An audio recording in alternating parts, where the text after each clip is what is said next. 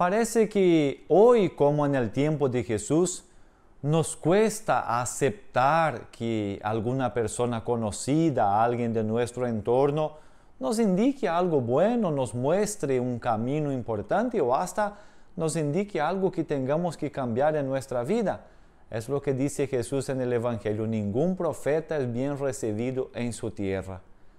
Qué importante, hermanos y hermanas, tener la sencillez de la viuda, de este general que no era judío, que no pertenecía al pueblo, pero que estaba atento y escucha la voz de Dios.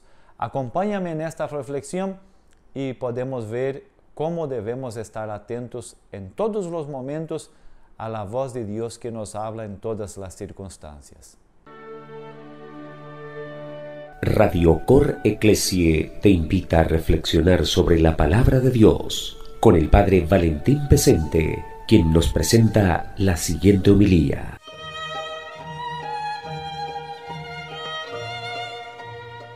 Tenemos dificultad en estar atentos a los signos del tiempo presente, a la presencia de Dios en nuestra vida y hasta a veces aceptamos que una persona importante nos hable, que venga otro de otro país, que venga un obispo, que venga un cardenal, que venga el papa seguramente todo esto mueve mucha, mucha gente.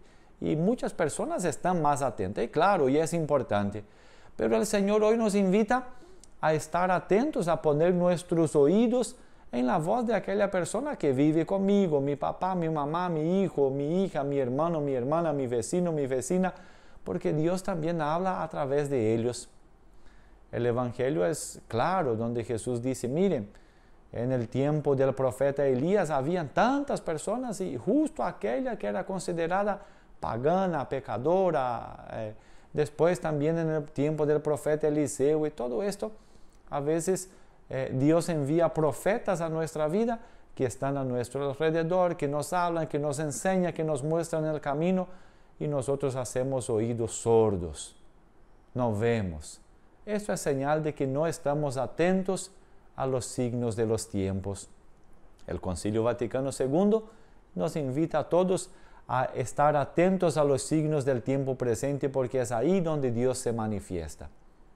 Ojalá no seamos acusados también por Jesús de haber perdido una oportunidad de salvación, porque Dios sigue hablando, Dios sigue enseñando, Dios sigue mostrándonos el camino a través de tantas personas. Acojamos, aceptemos escuchemos lo que las personas nos digan, que seguramente es una buena oportunidad para lograr acercarnos a Dios y también alcanzar el cielo. Yo soy el Padre Valentín y que el Señor les bendiga. Radio Cor Ecclesie presentó la homilía del día con el Padre Valentín Presente.